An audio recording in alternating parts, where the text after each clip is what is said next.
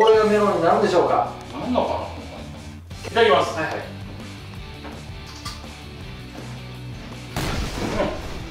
マジで？おおおいおおメロン！さあ始まりました。ボルトボルズの YouTube 番組 YouTube ピースピース、えー、我々ボルトボルズはね、えー、全国各地でサイエンスショーをやっているというね、えー、唯一無二のお笑い芸人でございます、えー、そんなサイエンスお笑い芸人ボルトボルズのね弓川君が、えー、新たなことにチャレンジしてくれるということで早速呼んでみたいと思います。弓川君お願いします。どうもサイエンスの力で不可能を可能にするスーパーサイエンティスト弓川です。サイエンス。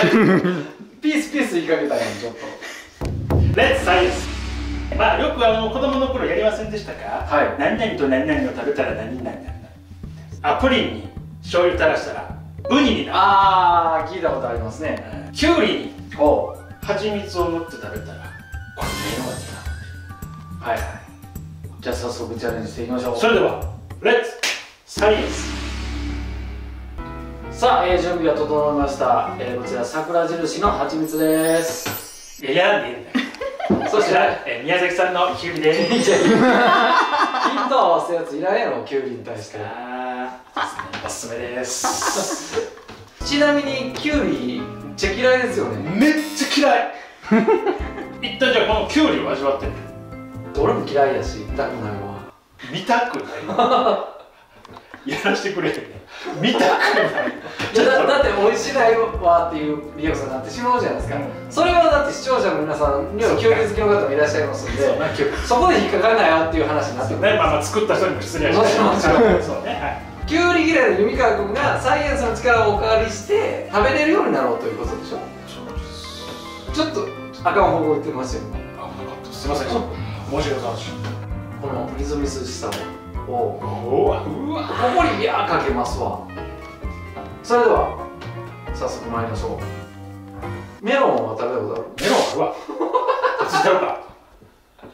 バカにすんな。貧乏やったからって。メロン。うん。俺もうすぐ命なくなるすんごいキュウリの匂いするわ。おおこれがメロンになるんでしょうか？なんのかな。結構でもちょっとたっぷりめの方がいいのにこれ。はいいただきます。はいはい。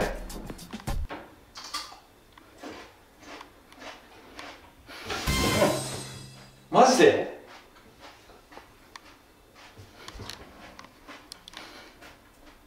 食べれてるやん。食べれる。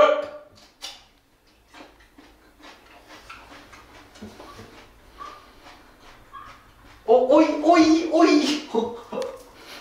おい蜂蜜い ったらもっと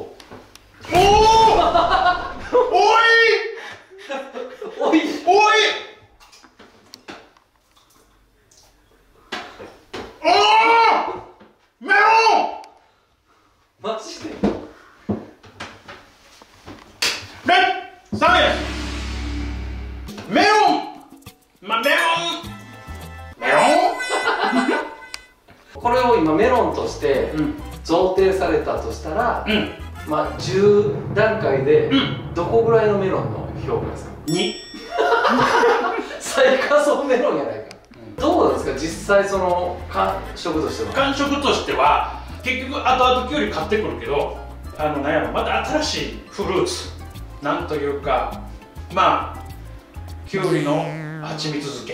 いやいやいや蜂蜜やんそれ。とほんまのこと言うとこれはもう全体的にメロンになるんじゃなくて噛んでいって一瞬だけメロンになるっていう瞬間があるんです。あずーっとメロンではない。あモノマネ探るみたいなそうそうそう。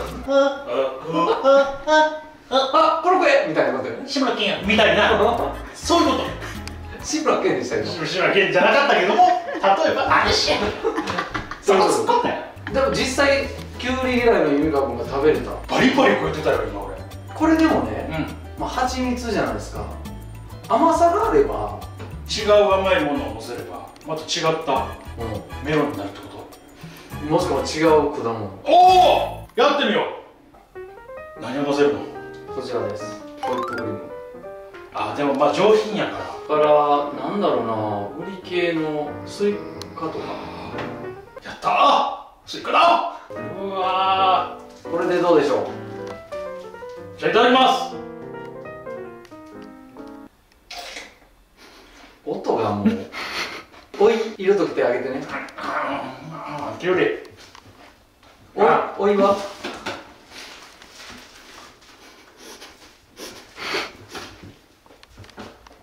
あーきゅうりあーきゅうりあまずっうわあーきゅうりきゅうりやあんなもん。あまあまあ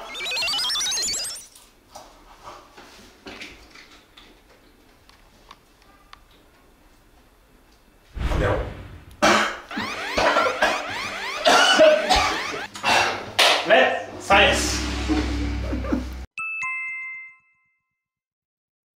皮をきちんと剥いて超薄切りにしないとまずダメだ。まあ、皮の部分の味が強いのでやる際はあのそこをちょっとポイントにしていただければと、ミスエスパ。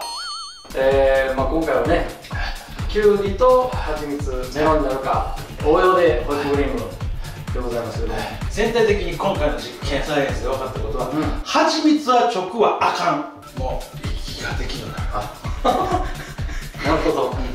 ここでドローッとしようかな。でもすっごい今声出やすい。飲まれてるから。あということでございまして、えーまあ、ちょっとよくは、えー真似しないようにしてください。